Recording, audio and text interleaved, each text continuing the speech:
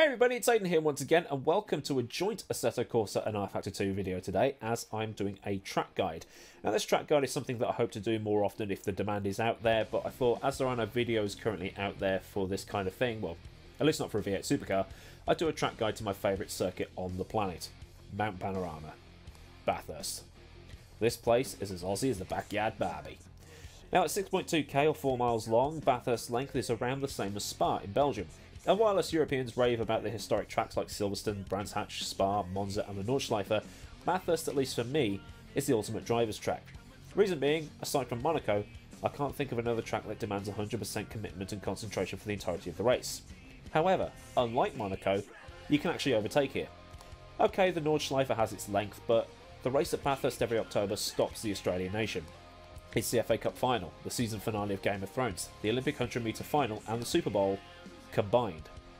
So what I have planned here is I will do a fly around of the circuit in Assetto Corsa because I can't get to get it to work in rFactor 2 the way I want it to, and then drive around in a street car in rFactor 2 to get an idea of what it looks like to the driver, and then we'll blast out a lap in a V8 supercar so you can see what it all looks like when you manage to get it all hooked up properly.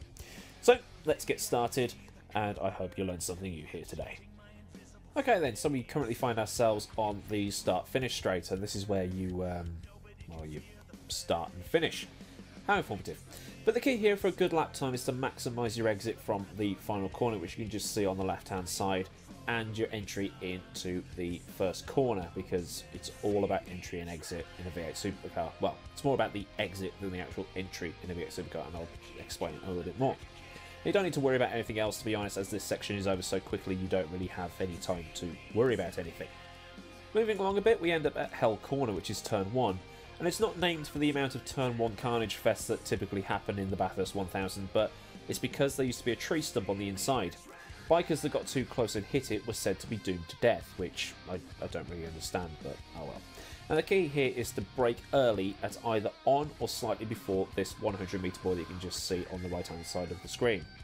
Turn in, if I move the camera forward, so you, you've hit the brakes and then you want to turn in, grab some of the curb on the inside, get on the power as you get to the apex or just as you click the apex, excuse me, and run the car out onto this curb on the outside, even using the AstroTurf if you need to, and then just run along the curb let it drop off onto this apron on the right hand side.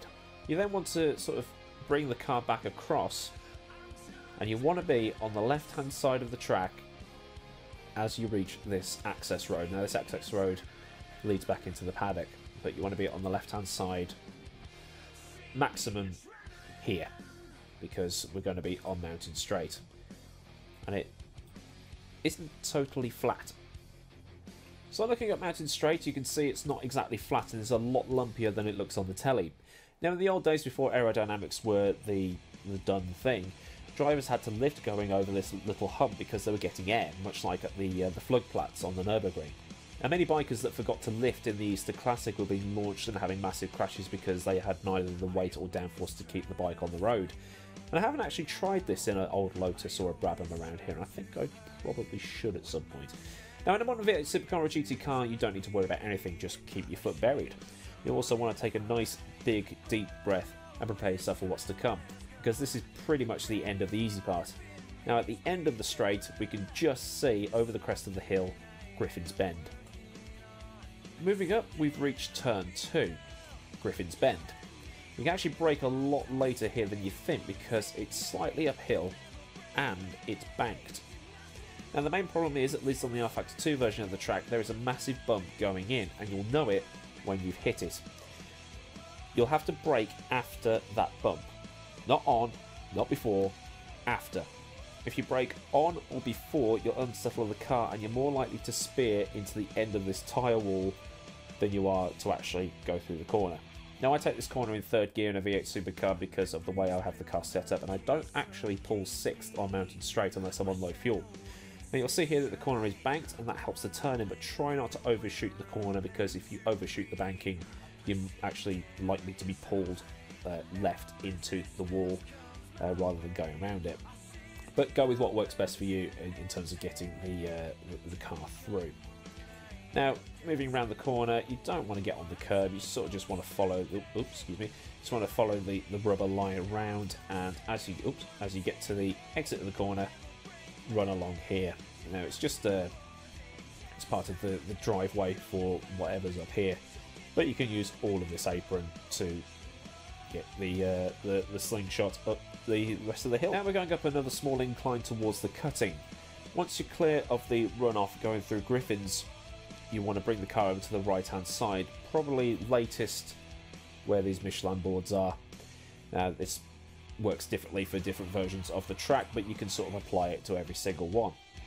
Now, you want to be on the right hand side because we want to treat turn 3, where this Coates Hire thing is, we want to treat this corner like it's not even a corner.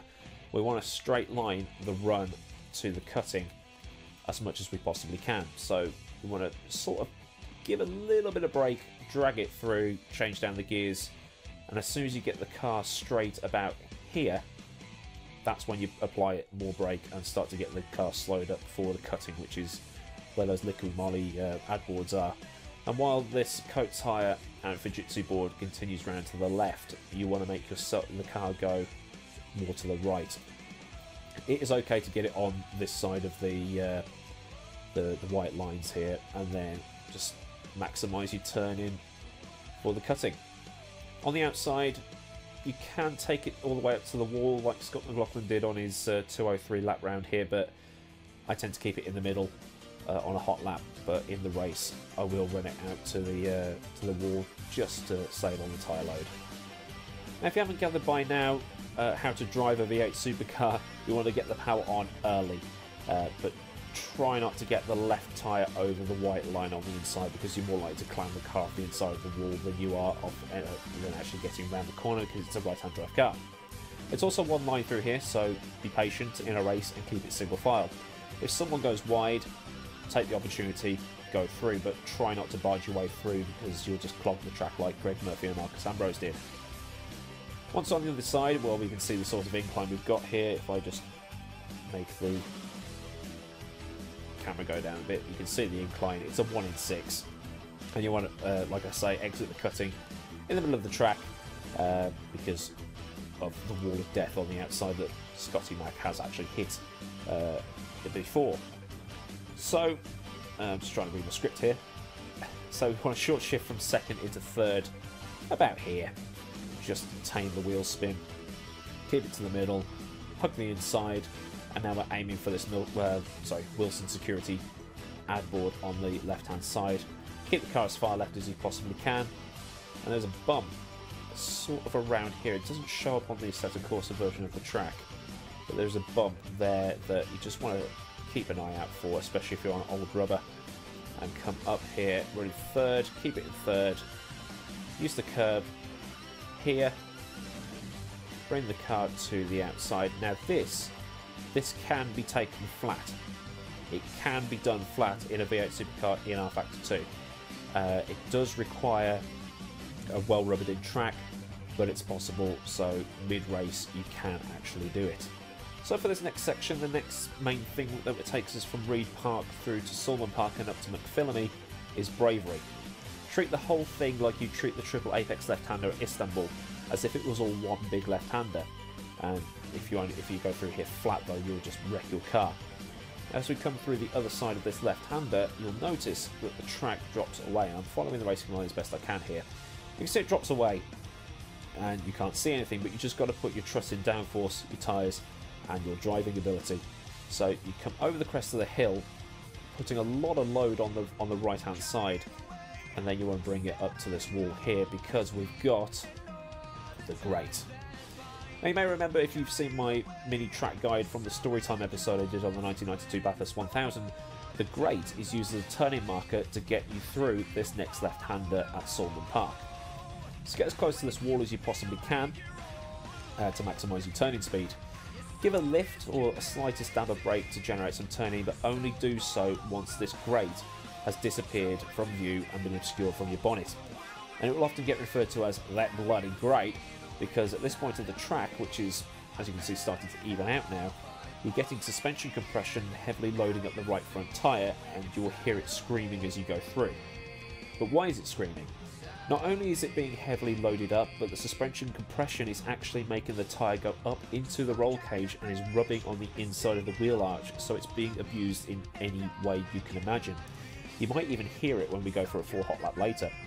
You'll be doing about 190 clicks through here, and you'll be less than 6 inches from this wall if you are fully committed. So we've got through Sulman Park, we're looking at the exit of Sulman Park, we're on the power again, we're heading into McPhillamy so we're almost at the highest point of the circuit.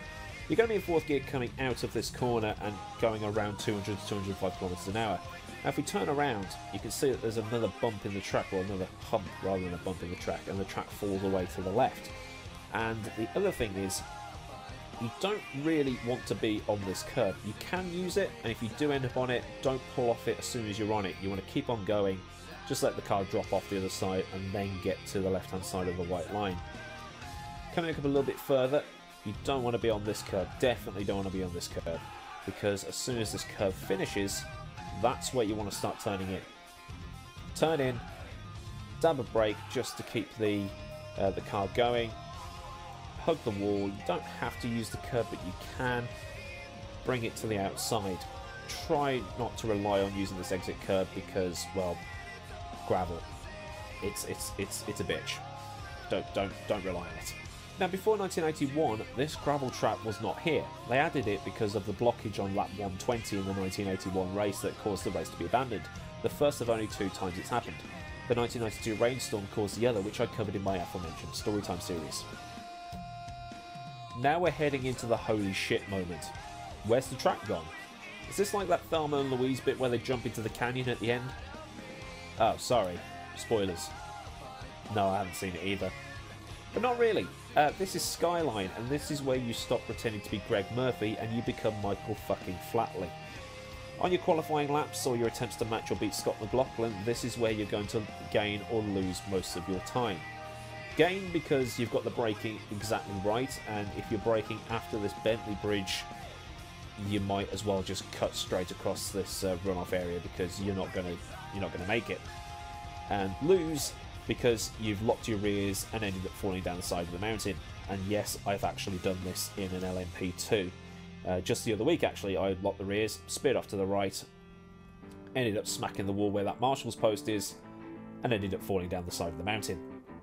Now, getting through here quickly takes longer to describe than it actually takes to get through, but the general rule of thumb is to be brave on the brakes, approach from the left but with the car travelling to the right, drive as straight as you can through the chicane, and juggle the brake and the gas while changing down to second gear for where those Michelin logos are uh, because you want to be doing about 70 kilometers an hour. That's your target speed, and you will be doing just over 210 when you enter the braking zone. The hard part of this next section is juggling the, the gas and the brake because you're trying to get through towards the dipper.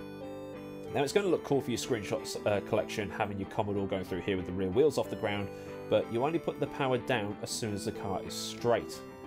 You want to feed it on through here, follow the rubber, and then as soon as the car is straight after that right hand kink, now when you're looking at that sort of view is when you want to put the power down.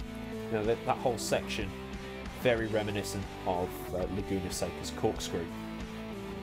Next up we've got this little left hand kink and you don't need to be as close to this wall as you think and in fact if you try to be clever and get too close you'll end up doing what Chaz Mostert did and end up being like in a pinball machine. And what happened was Mostert clipped the wall just here, speared across here, hit the wall here, bounced back across this Liqui Moly sign, rode along this concrete wall like he was in a Tony Hawk's Pro Skater game, took out this Marshall's post and then came to a stop just here at Forest Elbow, which is actually the next corner we're going to visit. So this is Forest Elbow. Uh, coming in here is tricky because other than the S's, this is the only part of the lap where you're going to have your front tyre off the ground. If you're in too hot, the car won't turn, and if it does turn, you've cooked your right front even more than you want to. But we'll get to tyre wear and lap times in a bit for race stints. So get a dab of brake on uh, as you come through the, uh, the right-hander just where Mostert binned it. And you want to ride the brake down, get down into second gear, and you want to be on the outside, well, maybe roughly more here to get the turn in and then let the car drift to the right hand side. Now where the uh, the Falcon tyres wall ends, there used to be a tyre wall here. And what happened in uh, the top 10 shootout in one of the races, I can't remember what year it was, Dick Johnson hit that tyre wall, speared off, and hit this tree. But we're not here to talk about the uh, foliage surrounding the Bathurst track. We're here for this bit, Conrod Straight. So I've just moved up a little bit further on Conrod Straight and you don't need to do anything up here except get your breath back after all of that. The thing you need to concern yourself with is cutting this little left-hand kink really, really fine. If I just move the camera to where it is, you sort of want to come across, bring it back to the outside, and then bring it back to the left-hand side again. Ideally being on the left-hand side at this access road, just here, or the Bentley Bridge. And we have literally nothing to do until we get a little bit further up. So I'm going to pop into this vineyard, get a bottle of red, and I'll join you in a second. So we've come down the Conrod Straight and as we come round here we're going to end up at this right hand kink just up ahead. Now the tarmac on the left hand side, this is yours. It's yours to use, so I suggest use it. Use all of it and keep your foot down. Get the car turning in such a way that you're on the right hand side of the track for the chicane just in the distance there called the Chase. Now the track used to carry straight on here up towards that Liqui Moly bridge in the distance, but in 1987 they changed the track to what it, you see here now because the FIA said they wouldn't sanction any track with a longer straight than the Döttinger Höhe at the Nürburgring. And when the car is straight, get on the brakes hard. Why? Because you've just gone through this kink at 300 kilometers an hour, 180 miles an hour. And you're going to have to get used to the feeling of holy bollocks, will this thing pull up in time? Your left foot is going to need to feel like you're putting your foot through the floor.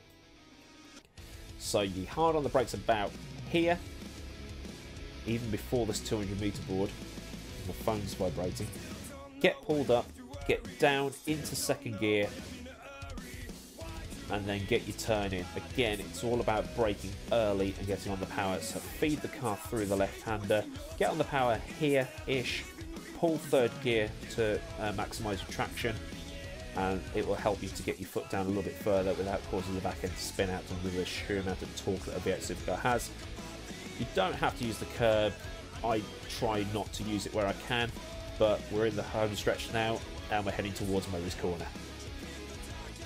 So we're heading towards Murray's Corner now, and like we did for Health Corner, you want to brake early, accelerate early, because, like I say, that's how a V8 supercar needs to be driven. So we're going to be hitting the brakes probably around here. Whether you pull fifth gear or not is entirely down to you. I tend to uh, plug fifth just so I've got the engine braking, but hit the brakes, turn in. Apex is around here. Now be careful in the rFactor 2 version of the track because if you take too much of the inside curb you will get onto two wheels and you can roll it. So feed the power on, get as close as you want to this curb. Again, don't have to use it. I do use it if I'm on a hot lap and then just power, power, power, pull gears, and here is the finish line. So that's a lap, we've just got to put it all to practice. Okay, so now we're in rFactor 2 as we're going to actually go for a lap around probably the better version of Bathurst of the two. So I'm sat on the exit of Murray's Corner in a Chevrolet Corvette and I'm just going to drive slowly around and show you the lines to take through each of the corners and then we'll take the V8 Supercar around on full race fuel with a race setup and show you what it's like to, to drive properly. So I've now got to try and commentate on a lap of Bathurst while driving it. So let's go. So we're just coming out of Murray's. And then we're coming along the start finish straight. There's the timing line.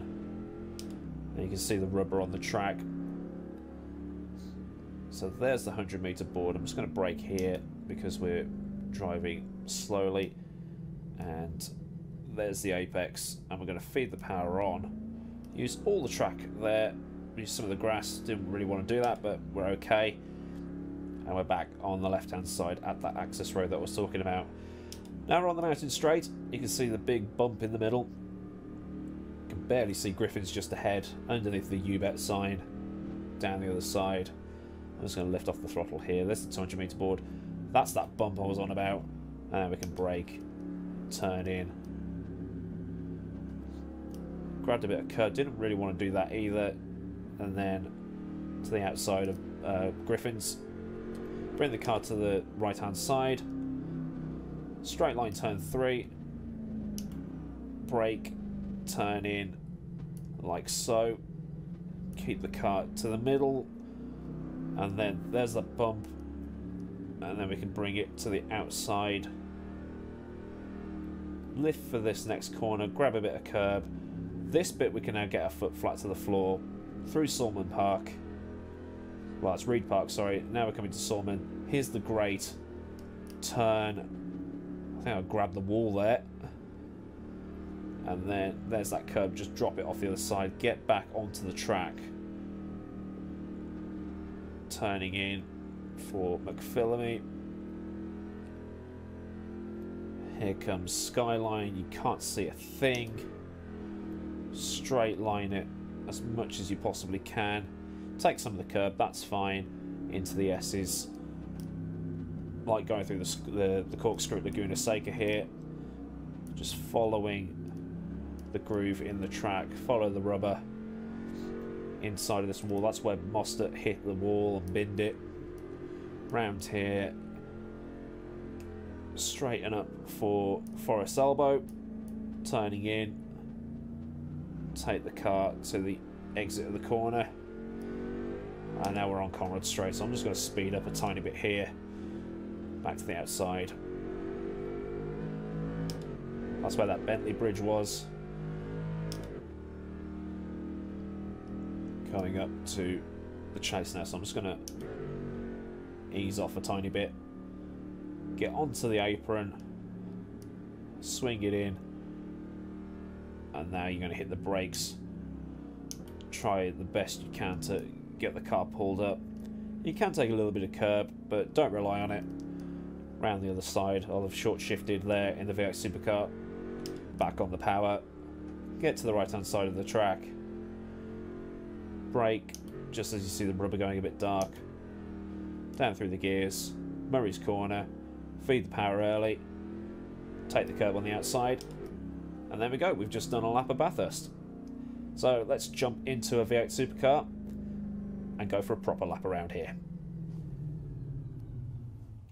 So now a lap in this Ford Falcon that I've painted in a, a kind of a, a Pepsi Max crew type of livery, complete with names and numbers on the sides of the windows, which I finally worked out how to make opaque. But no commentary on this lap, just engine noise so you can listen for the engine notes, the braking and the gear changes. It's just a shame that we can't have a pedal overlay in DX11 rFactor 2. Now the car is running on full tank, and as the car's going around I will leave screenshots of my setup. Now really you want to try and make the most of your tyre wear so you want to limit yourself to about 2% a lap for longer races particularly if you're doing a one a Bathurst 1000 star race. Uh, in terms of lap times, you want to be aiming for the high 207s, low 208s. This setup will do a 206, but if you do a 206, every lap your tyres are just going to be destroyed by the uh, by you know lap 10 or so and you're kind of wanting to eke it out as long as possible. It is an endurance after uh, endurance race after all. So I'm going to do the lap with no commentary, so you can just listen to the engine noise and the engine notes, and then I'll see you after the lap for a I don't know a debrief or a recap. But uh, see you in a minute.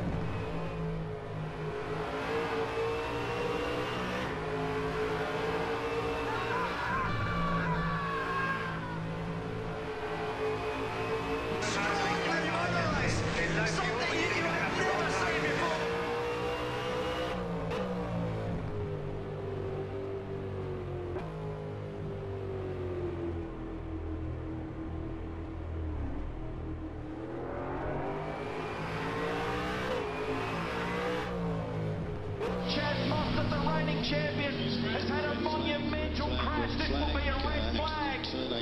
Mostert has had a terrible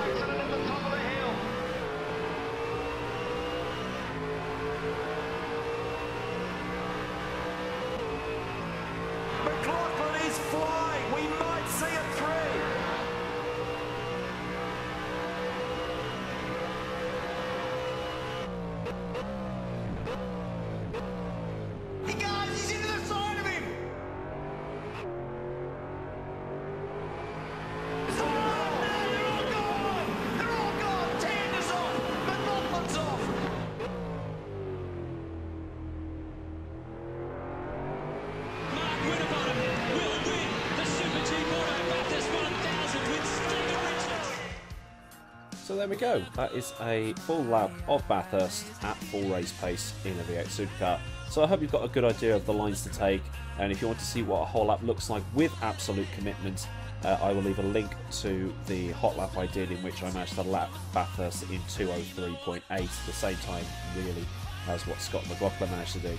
And if you're wondering, as I came through Salmon Park on that hot lap, I did not hit the wall. I will uh, put a picture up on the screen uh, over this uh, bit of voiceover, and uh, I didn't actually hit the wall, which is the amazing part. I was, you know, millimeters from it. Um, unfortunately, my computer crashed while I was trying to take the screenshot, so I had to do it on my phone because I'm an idiot and didn't set rFactor 2 to record the replay in the event of that actually happening. So I'm an absolute idiot. But anyway, I hope you've enjoyed this video and I hope you've learned something. If there are any circuits you want me to look at and try and do a track guide for them, I will happily do those for you. If there's any type of racing you want to see, any series or, or whatever across rFactor 2 or Assetto Corsa, let me know as well and I'll get something up and give you a shout out for suggesting it. So, until next time, I've been Aidan Millward. Have a great day wherever you live in the world and I'll see you all again on Friday for another video. Goodbye.